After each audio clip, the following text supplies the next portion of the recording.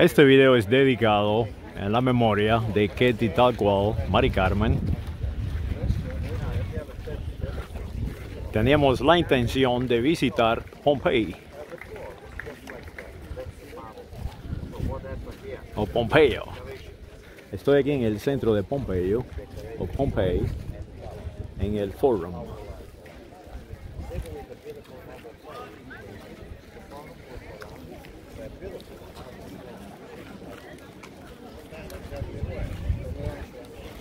En esta dirección es la basílica. Y la basílica está construida en la misma forma de las basílicas de, las basílicas ah, de la Edad Media, de la, de la Edad Medieval, construida en, Fra en, en Francia y en España.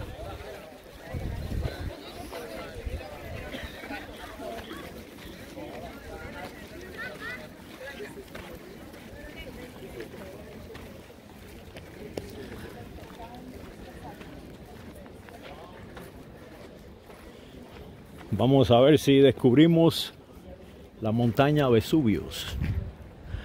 La montaña Vesuvius está en esa dirección.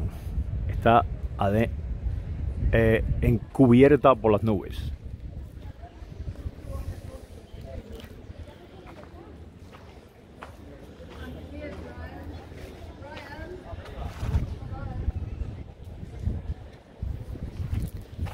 Y es tremenda ciudad, una ciudad muy antigua.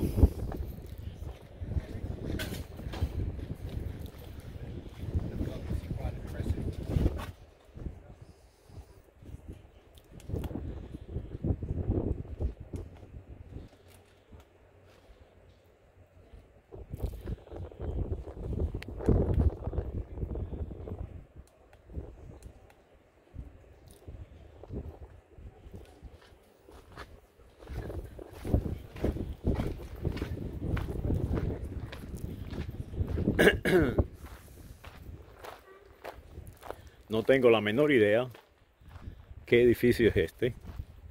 Yo pensaba que yo ah, conocía toda la, arquitectura de, de Pompey y Herculanium.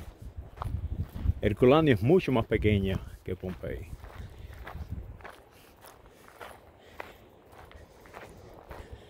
Después que termine de visitar este, este, este monumento o esta ciudad antigua o, una ciudad de arqueología,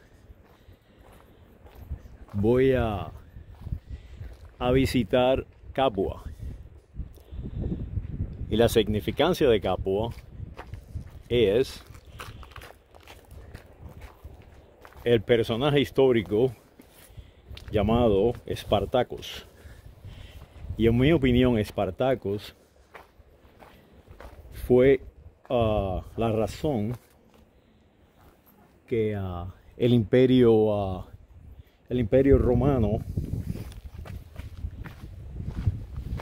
se convirtió en tan eficiente ejército.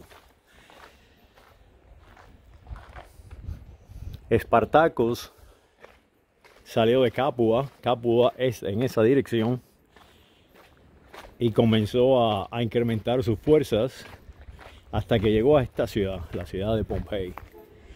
Y la, la circuló, circuló la ciudad de Pompey, todo en esta dirección,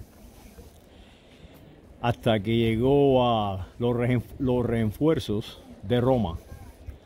Roma está en esta dirección al norte de Vesuvius.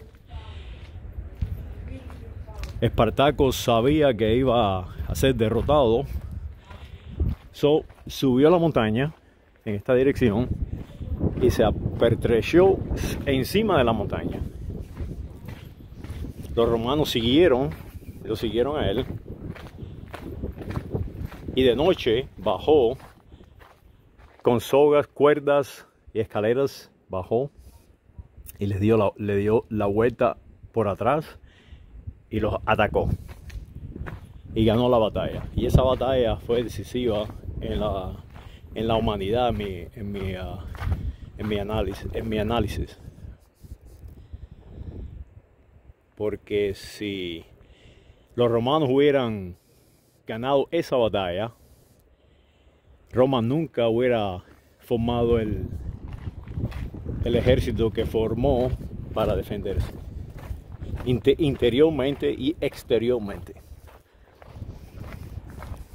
Y de ese momento también cambió la idea de, de, ah, ah, de, forma de gobierno, forma de gobierno. Básicamente lo que sucede hoy, los industrialistas han tomado posesión, posesión del gobierno. Como Crassus, Crassus era un, industrialista más rico de, de, Roma en aquel momento. Y él fue el que comenzó a unir a el ejército, el ejército romano.